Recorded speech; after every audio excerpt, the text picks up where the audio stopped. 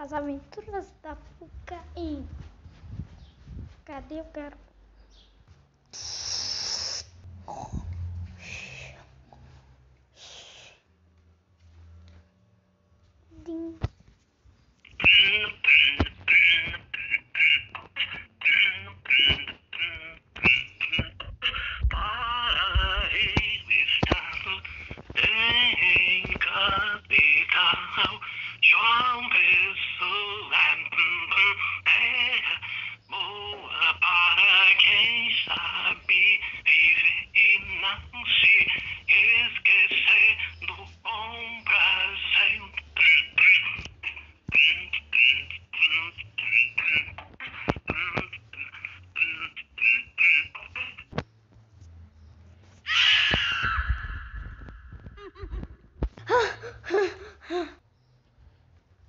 Dia dos Namorados.